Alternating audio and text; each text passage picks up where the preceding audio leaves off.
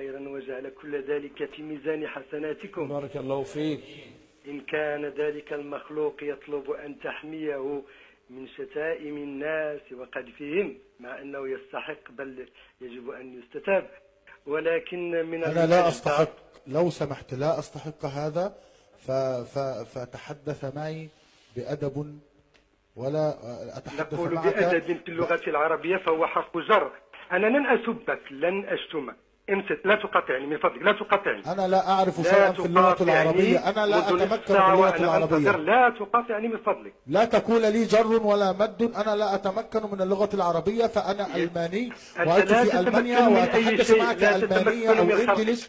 لا تتحدث معي عربية. أنا لا أعرف أتحدث العربية ولكن تعرف. منك أن تتأدب معي في الحوار أتوجه إلى الشيخ من فضلكم. هل يمكنني أن أتكلم بدون تفضل مقاطعة أم تفضل أعيد؟ سيد تفضل تفضل أرجو أن تستهدي أنا أنا لا يا شيخي يتح... يا شيخي. يتحدث عني بأدب وأنا أنا لا لا. أتحدث معك بل أتحدث مع الشيخ ومع الإخوة المسلمين المؤمنين الموحدين فكل ما أريد أن أقوله كل ما أريد أن أقوله يجب أن تحترم الشيخ فمن أولى الأولويات لهذا الدين الإسلامي الحنيف أن الدين المعاملة كما قال الرسول صلى الله عليه وسلم يجب أن تحترم ذلك الشيخ لقد زرت دولا عديدة في شتى أنحاء العالم والتقيت بأناس ملاحدة وكتابيين وكنت أحترم شيبهم.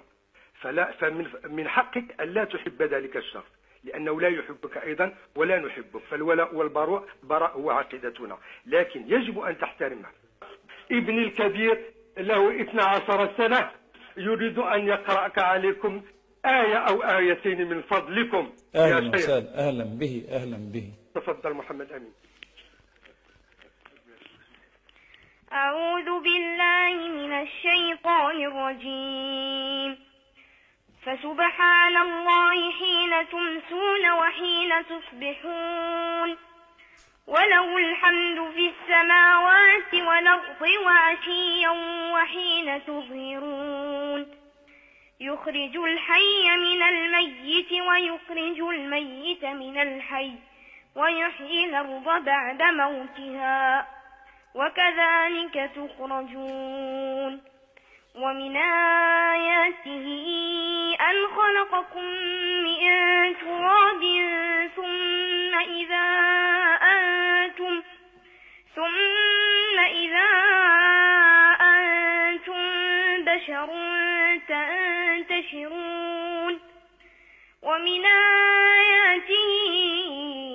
أن خلق لكم من أنفسكم أزواجا أزواجا لتسكنوا إليها وجعل بينكم مودة ورحمة.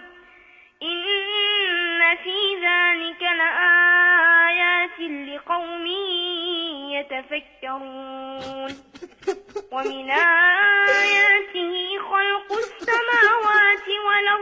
واختلاف ألسنتكم وألوانكم.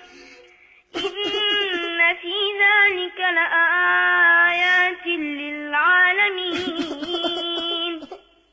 ومن آياته منامكم بالليل والنهار وابتغاؤكم من فضله. إن في ذلك لآيات لقوم يسمعون ومن آياته يريكم البرق خوفا وطمعا وينزل من السماء ماء وينزل